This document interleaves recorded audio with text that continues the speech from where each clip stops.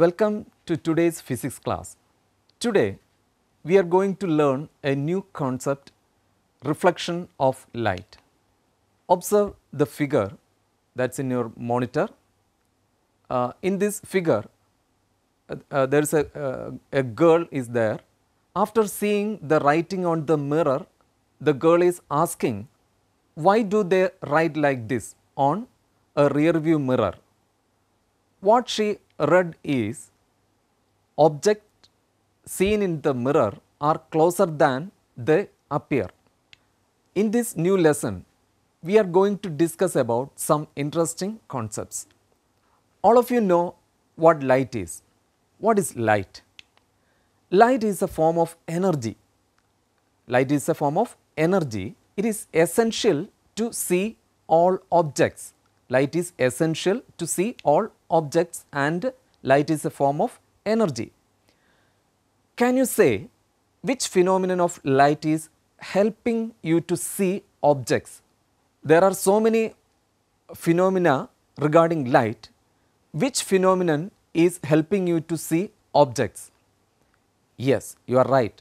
Reflection of light. What do you mean by reflection? Can you say the, uh, the meaning of reflection of light? Yes, you know. Light falling on the surface of an object comes back to the same medium. Light falling on the surface of an object comes back to the same medium. This is reflection of light. We also know the laws of reflection of light. Now, uh, here is a figure, observe the figure. Which is the incident ray here? Yes, it is OA. OA is the incident ray. Which is the reflected ray? Yes, it is OB. OB is the reflected ray.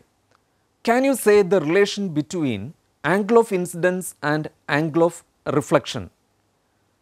Can you say the relation between angle of incidence and angle of reflection? Angle of incidence is equal to the angle of reflection. Angle of incidence is equal to angle of reflection.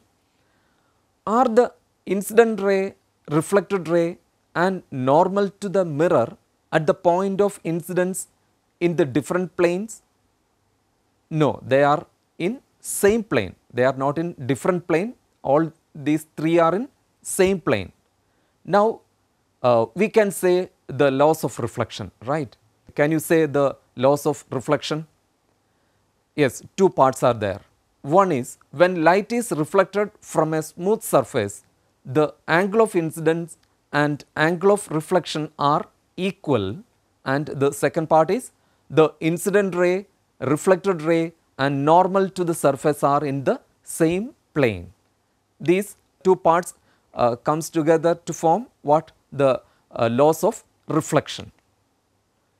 Now, another uh, figure is there, observe the figure, a beam of light incident on two surfaces. There are two surfaces, uh, a beam of light is uh, incidenting on the two surfaces with the different properties is depicted.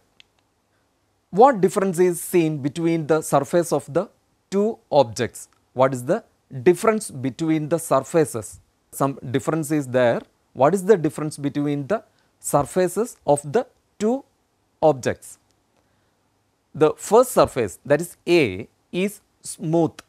The first surface is smooth and the second surface that is B it is rough. It is rough surface. B is rough surface and A is smooth surface. What happens to the beam of light falling on the smooth surface? What's, what is happening when beam of uh, light is falling on the smooth surface? Uh, yes, what is happening? Yes, the rays of light travels parallel after reflection. Uh, so, such reflections are called regular reflection. So, in a smooth surface what is happening? Regular reflection is takes place. Now, what do you mean by regular reflection? When the incident rays are parallel, rays of light after reflection it uh, reflected back in parallel, they are parallel. So, this is regular reflection and uh, in a rough surface what is happening? It undergoes irregular reflection. Then what do you mean by irregular reflection? Even though light rays are, uh, the incident rays are parallel, the uh, reflected ray is not uh, parallel so that it can call it as uh, irregular reflection. This kind of reflection that is irregular reflection is called scattered reflection. The, we can call this irregular reflection as scattered reflection. Here light undergoes reflection but no image is forming. In the dust particles of the atmosphere, light undergoes scattered reflection. This is we are calling this phenomenon as scattering. Can we do an activity? Here in my hand what you are seeing is three mirrors are in my hand. Observe the mirrors or all these mirrors of same type or different type? Let us find out. I am placing uh, this object, the uh, flaming candle is the object, it is in front of each mirror and what do you observe? In the first mirror, what is the size of the image here in the first mirror? What you are observing? What is the size of the image in, uh, in first mirror? And what is the image in second mirror? What is the size of the image in second mirror? And what is the size of the image in last mirror? Now, it is first mirror, second mirror and this is last third mirror or last mirror. Okay, what is the nature of the image here?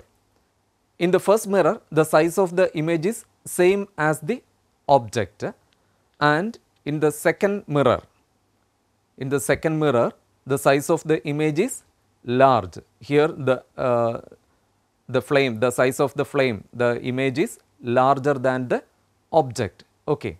In third case, in third mirror, the size of the image is smaller than the object, the size is smaller. So, these three mirrors are not same type, these three mirrors are not same type uh, because the image formed by each mirror is not same. So, that we can say these three um, mirrors are not same type.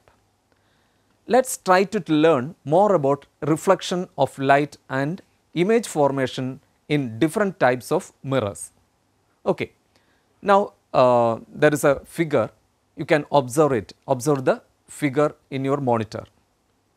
Consider OA and OC as two uh, rays of light incident obliquely on the mirror. We are considering OA and OC as incident rays.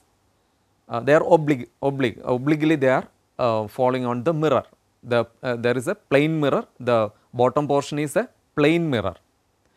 And according to the laws of reflection, the reflected rays AB and CD can be drawn with respect to the normals x and y. According to the laws of reflection, the reflected rays AB and CD can be drawn with, the respe with respect to the normal x and y. While extending these rays backwards, they are meeting at the point I. They are meeting at the point I in the mirror. There the image of O is formed. The image of O is I that is inside the mirror.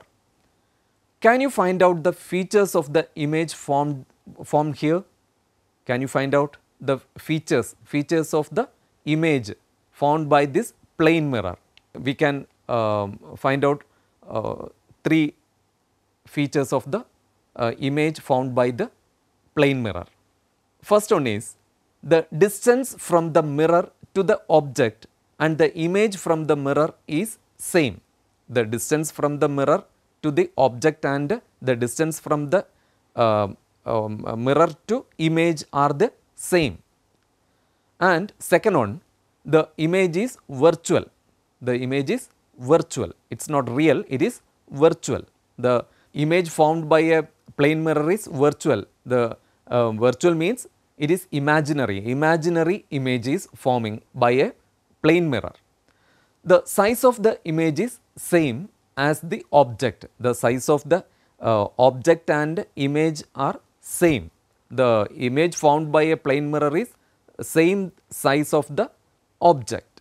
So, these three are the um, features of the image formed by a plane mirror. Here the image formed by the mirror is because of the reflection of light by plane mirror. We can increase number of reflections by increase the number of mirrors. We can increase number of reflections by increasing the number of mirrors. By increasing the number of mirrors, we can increase the number of reflections. Now, by using two mirrors, we can increase the number of reflection. By using two mirrors, we can increase the number of reflections. Can you count the number of images formed by the uh, multiple reflection of two plane mirrors? Here, I have two uh, plane mirrors. See, can you see? By using these two plane mirrors, I can increase the number of uh, reflections. By increasing the number of reflection, the number of images also increase. So, multiple reflection cause to increase the number of images. Now, we can do an, an uh, another activity.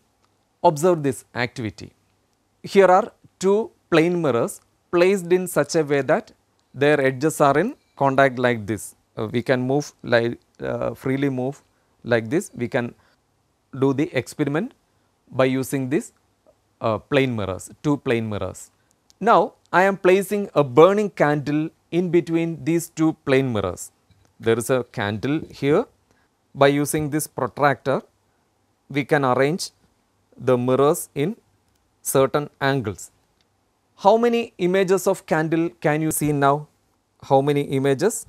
Yes, it is 3. How much is the angle between the mirrors? Yes, it is 90 degree. Uh, here the angle is 90 and the number of images is 3. When the angle become 90, the number of images is 3. Now, you can uh, uh, uh, parallelly you can complete the table as an assignment now. The table is in your monitor and you can complete it simultaneously while you are watching the experiment you can complete the assignment also. When the angle is 60 then the number of images are 5. When the angle between the mirrors is 60 then the images formed by the two mirrors because of the multiple reflection of these two, two mirrors the eh, number of images is 5. When it is 120, the angle between the two mirrors is 120, the number of images is 2. And finally, when the angle between the two mirrors is 180 degree, then the number of image is 1. Okay. Now, how can we find out the number of images? Yes, by using a formula n is equal to 360 divided by theta uh, the whole thing minus 1. Uh, 360 divided by theta the whole thing uh, minus 1 then we can find out the number of images. Now, let us recap what we learned today. First of all, uh, we, uh, we, we started the lesson with laws of reflection. Laws of reflection regular reflection, irregular reflection, scattering, image formation by a plane mirror, multiple reflection and image formation and the formula n is equal to 360 divided by theta the whole thing minus 1. Now, I am winding up today's class. Do the assignment, prepare well for the upcoming SSLC final examination. All the best. Thank you.